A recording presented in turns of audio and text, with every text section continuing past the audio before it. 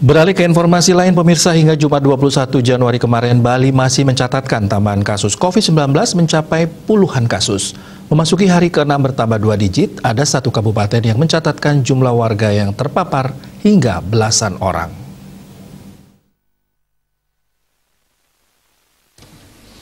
Pasien sembuh yang dilaporkan Jumat kemarin lebih sedikit dari kasus baru. Jumlahnya hanya satu digit. Sementara itu korban jiwa kembali tercatat nihil. Menurut data Satgas Penanganan COVID-19 Bali, jumlah kasus baru yang dilaporkan sebanyak 38 orang. Kumulatif kasus yang ditangani Bali mencapai 114.639 orang. Tambahan kasus dilaporkan 6 kabupaten kota. Terbanyak dilaporkan Badung dengan jumlah 18 orang. Sehari sebelumnya, Badung juga mencatatkan tambahan kasus dua digit yaitu 14 orang.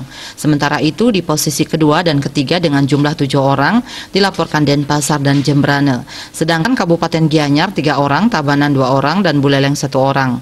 Tiga kabupaten nihil tambahan kasus adalah Karangasem, Kelungkung, dan Bangli. Kumulatif korban jiwa tetap 4.063 orang, rinciannya 4.057 WNI dan 6 WNA.